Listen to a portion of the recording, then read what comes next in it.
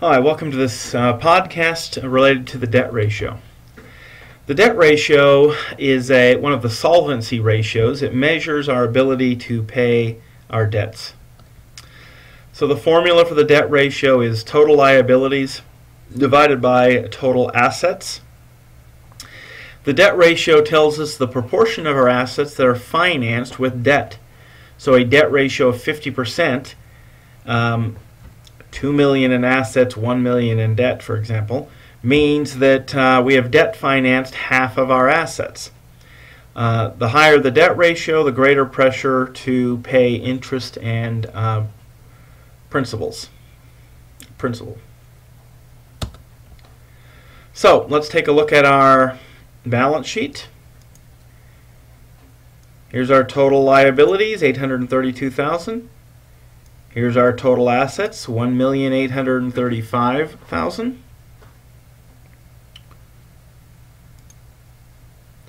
So we go ahead and plug those in. 832 divided by 1,835 gives us a debt ratio of uh, 45%. Uh, last year it was 50%, so we're a little bit better than that. Uh, we're not quite as good as our, well, excuse me, we're not quite as high as our competitor, J.C. Penney's, but we're a, a little bit higher than our industry average. Okay. So I want to finally talk about this concept of leverage. And the first thing I want you to consider is that when it comes to the debt ratio, maybe I'll go back to this slide. When it comes to the debt ratio, uh, unlike individuals, companies don't want to have zero debt. I know as individuals, I mean, you know, it's a it's a pretty common thing, right? Everybody would prefer to be debt free rather than have debt. But uh, companies uh, do not operate that way. And there's a couple of reasons for that. Um, first of all, I will tell you that in the uh, 1980s, there were a number of what we refer to as hostile takeovers, where a group was coming in and buying up the stock of particular companies. Um, these, these groups were sometimes called corporate raiders.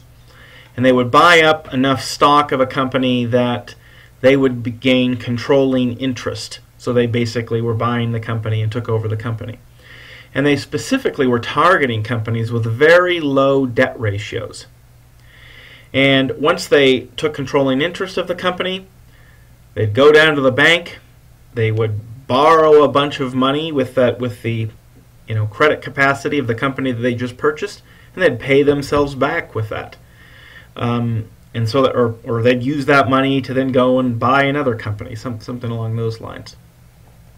And so um, uh, a very low debt ratio. In essence, in the 80s, they were they were basically buying companies with the the company's own, um, you know, line of credit. If you think about it in those terms. Um, the other reason the companies don't like to have zero debt is um, this idea of leverage.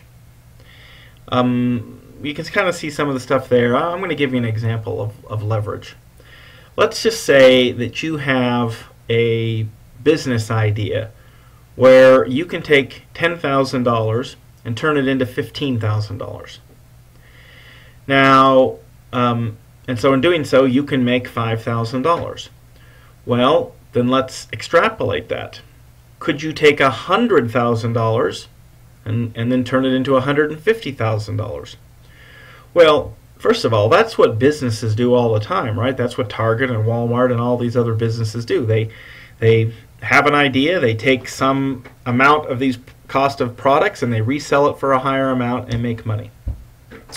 So if you can extrapolate your idea so that you could make 150,000 if you had 100, then it would make sense for you to go and borrow the $90,000, um, make the 150, pay the 90 back, and you'd be much better off than if you were just using your own money.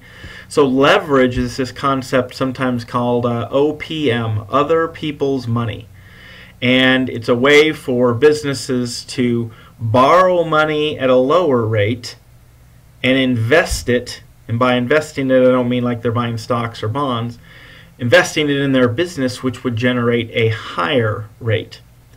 Um, and so this is the idea of leverage, and this is why a lot of most companies don't want to have zero debt. Um, leverage is, is good, so it really helps increase profits when you have a lot of sales, but you could have extra losses or, or bigger losses in downturns. Okay, so that's the idea of the debt ratio and how it relates to leverage.